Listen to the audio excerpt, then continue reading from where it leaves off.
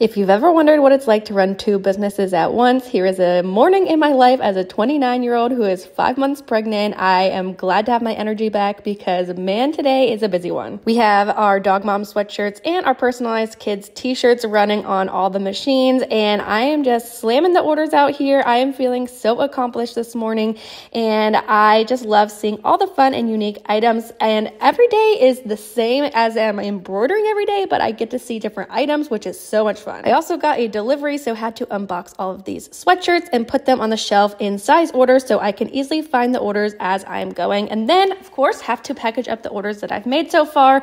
These are the kids' t-shirts. I absolutely love how they turn out. They're so cute, and I'm so excited to see them on all of the kids. And when one item comes off the machine, another item gets put on. I'm so excited for this exact item to be made because it is a custom logo for another small business. I love helping small businesses have things to, you know, promote